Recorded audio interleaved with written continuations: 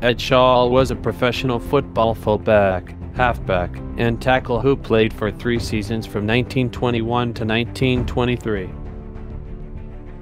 Shaw was born on August 7, 1895 in Tecumseh, Nebraska.